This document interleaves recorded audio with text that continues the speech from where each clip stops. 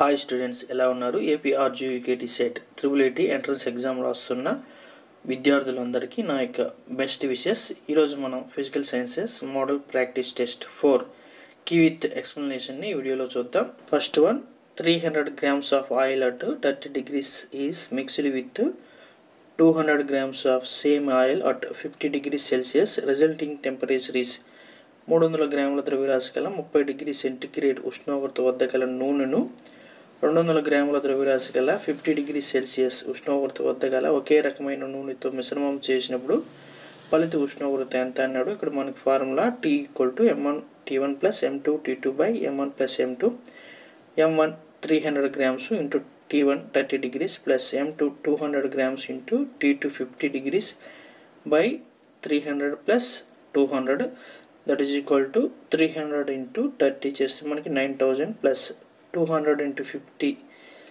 మనకి ten thousand by five hundred that is go nineteen thousand by five hundred one ninety by five that is go thirty eight degrees A అనేది ఇక్కడ right answer అవుతుంది.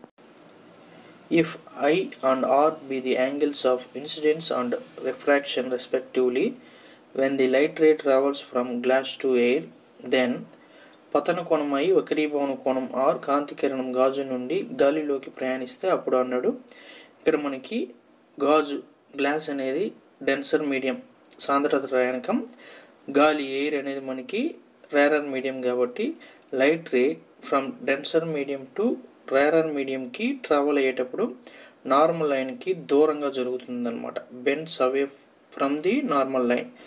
కాబట్టి ఇక్కడ మనకి angle of refraction R value ఎక్కువగా ఉంటుందన్నమాట.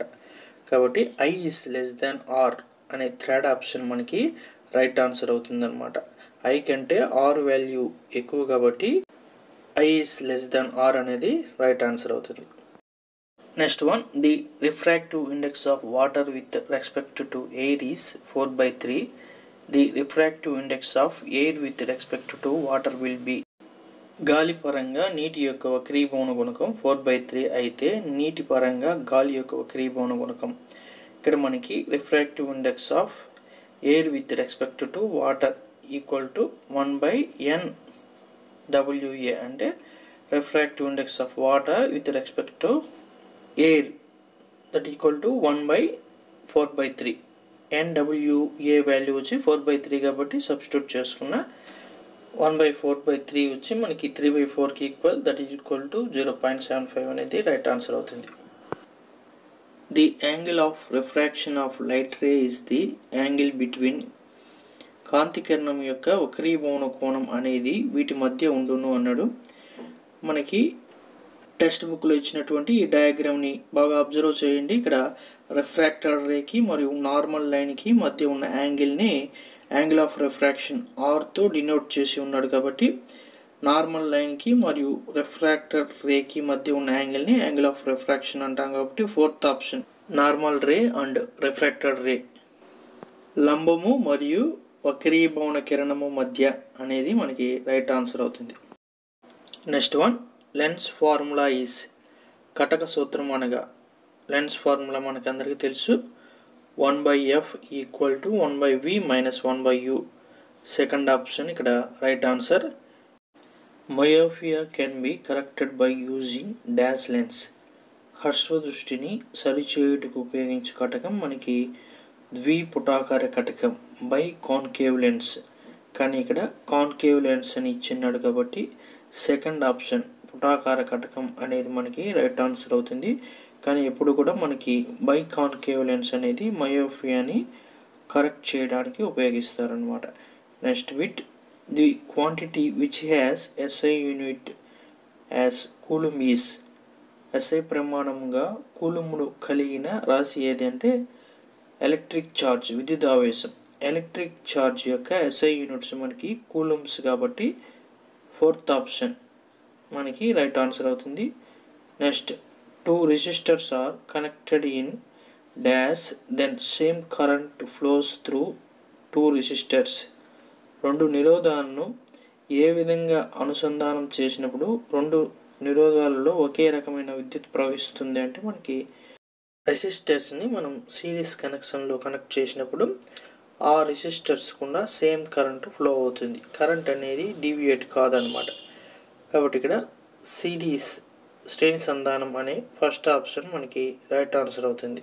Next Tesla is the SI unit for SI ప్రమాణంగా Tesla అనేది దేనికి సంబంధించినది అంటే మ్యాగ్నెటిక్ ఫ్లక్స్ డెన్సిటీ అయస్కాంత అభివాహ సాంద్రత యొక్క యూనిట్స్ మనకి టెస్లా వెబర్ బై మీటర్ స్క్వేర్ని టెస్లా అంటారు.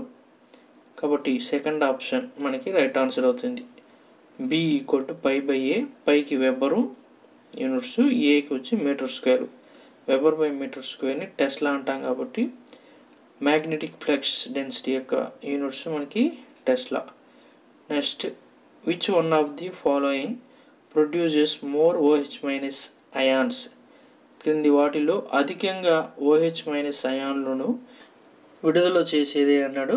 మనం ఇచ్చిన ఆప్షన్స్ని ఒకసారి అబ్జర్వ్ చేస్తే ఫస్ట్ ఆప్షన్ ఫోర్త్ ఆప్షన్ మాత్రమే మనకి బేసిస్ అనమాట కాబట్టి బేసిస్ మాత్రమే ఓహెచ్ మైనస్ అయాన్స్ని ప్రొడ్యూస్ చేస్తుంది. వీటిలోనూ స్ట్రాంగ్ బేసు మనకి మోర్ ఓహెచ్ మైనస్ అయాన్స్ని ప్రొడ్యూస్ చేస్తుంది కాబట్టి ఫస్ట్ ఆప్షన్ ఎన్ఏఓహెచ్ అనేది మనకి స్ట్రాంగ్ బేస్ కాబట్టి ఫస్ట్ వన్ రైట్ ఆన్సర్ అవుతుంది. HCl solutions with Na2CO3 and NaHCO3 produces hydrochloric ఆమ్ల ద్రావణం Na2CO3 మరియు NaHCO3లతో చర్య నొందినప్పుడు విడుదలయ్యేది అన్నాడు. మనకి యాసిడ్స్ కార్బోనేట్స్తోనూ మరియు బైకార్బోనేట్స్తోనూ రియాక్ట్ అయినప్పుడు కార్బన్ డైఆక్సైడ్ గ్యాస్ని రిలీజ్ చేస్తుంది. కార్బన్ డైఆక్సైడ్ గ్యాసే లైవ్ మ్యాటర్ని మిల్కీ వైట్గా టర్న్ చేస్తుంది అనమాట సున్నపు తేటను పాల వలె తెల్లగా మారుస్తుంది. కాబట్టి హెచ్సిఎల్ సొల్యూషన్ సోడియం కార్బోనేట్తోను సోడియం బైకార్బోనేట్తోను రియాక్ట్ అయ్యి మనకి కార్బన్ డైఆక్సైడ్ గ్యాస్ని రిలీజ్ చేస్తుంది. Fourth option right answer next one which one of the following types of medicines is used for treating indigestion అజీర్ణ నివారణకు క్రింది వాటిలో వాడేది అన్నాడు. యాంటాసిడ్ థర్డ్ ఆప్షన్ యాంటాసిడ్ మెడిసిన్ని మనం ఇండైజేషన్లో యూజ్ చేస్తామన్నమాట. ఈ యాంటాసిడ్లోనే మిల్క్ ఆఫ్ మెగ్నీషియా అనే బేస్ ఎంజీఓహెచ్ ట్వైస్ ఉంటుంది కాబట్టి థర్డ్ ఆప్షన్ మనకి రైట్ ఆన్సర్ అవుతుంది. తర్వాత వీటు the maximum number of electrons that can be accommodated in the L shell of an is ఒక పరమాణువులోని ఎల్ కర్పరం కక్షలో ఇమిడి ఉండు గరిష్ట ఎలక్ట్రాన్ల సంఖ్య. Number of electrons in a సెల్కి formula వచ్చి మనకి టూ ఎన్ స్క్వేర్ కాబట్టి ఇక్కడ ఎల్ సెల్ అని అడిగాడు. ఫస్ట్ సెల్ వచ్చి కే సెల్ కే కక్ష. సెకండ్ వన్ ఎల్ సెల్ కాబట్టి ఎన్ ఈక్వల్ టూని సబ్స్టిట్యూట్ చేసుకుంటే two into two square two into four that is equal eight electrons మనకి ఎల్ సెల్లో ఉంటుంది. Third option right answer next the orbital that is having least energy among three P four S three D four P is అన్నాడు. మనం ఇచ్చిన ఆర్బిటాల్స్కి N plus L values రాసుకుంటే three P ఆర్బిటాల్కి N plus L value three plus P ఆర్బిటాల్కి L value one కాబట్టి three plus one that is equal four four S ఆర్బిటాల్కి four plus S ఆర్బిటాల్కి L value zero కాబట్టి zero that is equal four next three D orbital three plus two L equal to two అయితే మనకి D orbital కాబట్టి three plus two that is equal five next last one four P four plus one that is equal five అనమాట కాబట్టి ఇక్కడ N plus L value equal అయినప్పుడు దేనికైతే ఎన్ value తక్కువగా ఉంటుందో ఆ ఆర్బిటాల్కి మనకి లీస్ట్ ఎనర్జీ కలిగి ఉంటుంది కాబట్టి త్రీ పీ అనేది ఇక్కడ రైట్ ఆన్సర్ అవుతుంది. The four quantum numbers for valency electrons of sodium atom and sodium పరమాణువులోని valency ఎలక్ట్రాన్కు నాలుగు క్వాంటమ్ సంఖ్యలు అని అడిగాడు ఇక్కడ. Sodium atomic number eleven one S two two S two three P six three S one valency electron మనకి three ఎస్లో ఉంది కాబట్టి త్రీ ఎస్ ఆర్బిటాల్ యొక్క N value three S ఆర్బిటాల్కి L value zero L zero అయితే ML zero MS value plus half కాబట్టి three zero zero plus half ఉండే option third one మనకి right answer అవుతుందన్నమాట.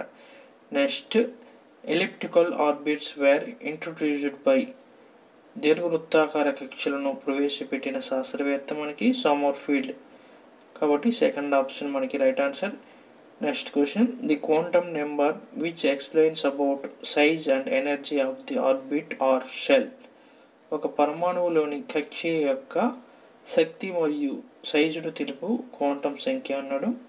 ప్రిన్సిపల్ క్వాంటమ్ నెంబర్ ఎన్ మనకి కక్షి యొక్క size మరియు శక్తిని తెలుపు తెలియజేస్తుంది అనమాట కాబట్టి N principal quantum number explains about size and energy of the orbit. So first one is right answer. Next number of elements present in period two of the long form of period table. విస్తృత ఆవర్తన పట్టికలో రెండవ పీరియడ్లోని మూలకాల సంఖ్య మనకి eight అనమాట first పీరియడ్లో two elements second పీరియడ్లో ఎయిట్ ఎలిమెంట్స్ ఉంటుంది కాబట్టి టూ ఆప్షన్ ఎయిట్ అనేది మనకి రైట్ ఆన్సర్ అవుతుంది. Next elements of which group are called halogens? ఏ గ్రూప్లోని మూలకాలను హెలోజన్లు అని పిలుస్తారంటే సెవెన్ ఏ అనమాట సెవెన్ ఏ హెలోజన్స్ ఎయిత్ ఏ వచ్చి మనకి నోబుల్ గ్యాసెస్. కాబట్టి ఫోర్త్ ఆప్షన్ సెవెన్ ఏ అనేది రైట్ ఆన్సర్ అవుతుంది. Next which one of the following has the electron configuration one S two two S two two P six. క్రింది వాటిలో one S two two S two two P six electron విన్యాసం కలిగినది ఏది అన్నాడు. ఇక్కడ neon యొక్క electron configuration అది. Next ఎన్ఏ plus సోడియంకి atomic number eleven Na plus అంటే ఒక ఎలక్ట్రాన్ని లాస్ అయినప్పుడు దాని యొక్క ఎలక్ట్రాన్ కాన్ఫిగరేషన్ కూడా టూ కమా ఎయిట్ టెన్ అవుతుంది. తర్వాత ఫ్లోరిన్ మైనస్ ఎఫ్ మైనస్ అంటే ఫ్లోరిన్ అటామిక్ నెంబర్ నైన్ ఒక ఎలక్ట్రాన్ అది గెయిన్ చేసినప్పుడు గ్రహించినప్పుడు మనకి టూ కమా ఎయిట్ టెన్ అవుతుంది కాబట్టి ఆల్ అనే డి ఆప్షన్ ఇక్కడ రైట్ ఆన్సర్ అవుతుంది. Next one dash belongs to the boron family boron కుటుంబానికి చెందిన గ్రూప్ మనకి థర్డ్ ఏ అనమాట ఎందుకంటే బోరాన్ యొక్క electron configuration boron atomic number five one S two two S two two P one అనమాట N S two N P one electron configuration కలిగిన group మనకి third A కాబట్టి బోరాన్ కుటుంబం బోరాన్ ఫ్యామిలీ మనకి thread ఏకి చెందుతుంది కాబట్టి ఫోర్త్ వన్ రైట్ ఆన్సర్ అవుతుంది. Next galena is and ore of galena అనున్నది ఏ మూలక ధాతువు అన్నాడు.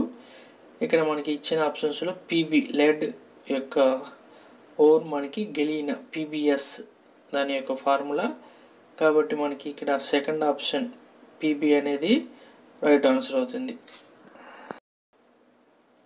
In the formation of BF three molecule boron atom undergoes BF three అణువు రూపొందడంలో బోరాన్ ఏ హైబ్రిడైజేషన్ను ఏర్పాటు చేసుకుంటుంది.